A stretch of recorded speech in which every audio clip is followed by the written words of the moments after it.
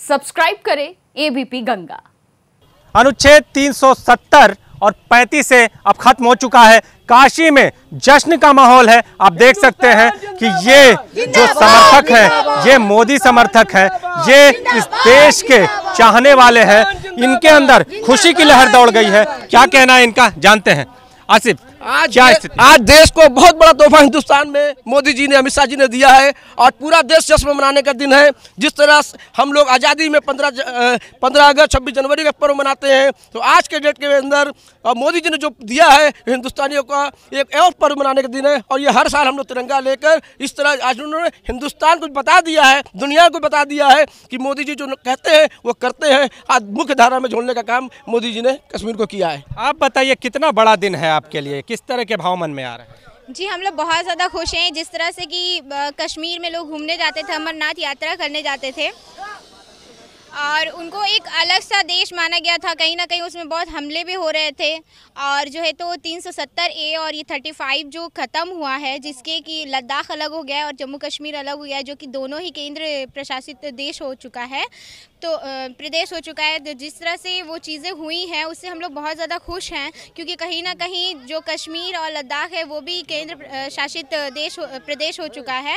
तो हम लोग यहाँ पर एकत्रित हुए। मोदी जी को बधाई दे रहे हैं और गृह मंत्री अमित शाह जी को भी। राज्य मंत्री जी को भी बधाई तो हम ये जानना चाहते हैं कि अब किस तरह के भाव मन में है? आज कितना ऐतिहासिक दिन है आप लोगों के लिए? आज तो हम लोगों के लिए बहुत ऐतिहासिक दिन है क्योंकि आज हम लोग बहुत ज़्यादा खुश हुए हैं जश्न मना रहे हैं सब लोग एक साथ हो गए हैं। मोदी जी को बधाई दे रहे हैं अमित शाह जी को बधाई दे रहे हैं कि उनके वजह से आज हम लोग को इतनी खुशी मिली है और इतना हम लोग एक साथ खड़े होकर बात कर रहे हैं मिल रहे हैं जुल रहे हैं सब लोग खुशी मना रहे हैं। आप बताइए कितना ऐतिहासिक दिन है आज का आप लोगों ऐतिहासिक दिन है। हम लोग के लिए बहुत खुशी का दिन है।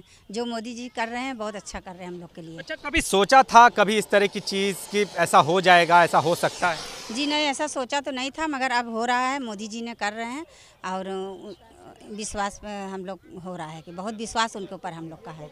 कुछ और भी लोग हमारे साथ मौजूद हैं। आप बताइए आप भी हाथों में तिरंगा लेकर यहाँ पर कर रहे हैं। कितना ऐतिहासिक दिन है और किस तरह के भाव मन में आ रहे हैं?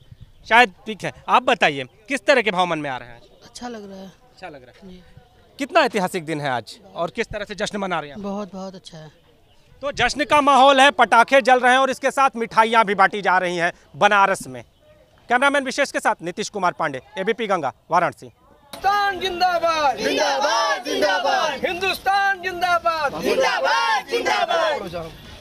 हिंदुस्तान जिंदाबाद जिंदाबाद। जिंदाबाद बधाई हो बधाई हो मोदी जी को बधाई हो बधाई हो बधाई हो बधाई हो मोदी जी को बधाई हो बधाई हो बधाई हो मोदी जी को बधाई हो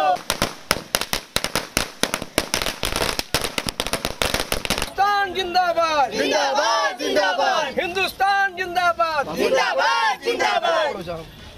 हिंदुस्तान जिंदाबाद। जिंदाबाद जिंदाबाद बधाई हो बधाई हो मोदी जी को बधाई हो बधाई हो बधाई हो बधाई हो मोदी जी को बधाई हो बधाई हो बधाई हो मोदी जी को बधाई हो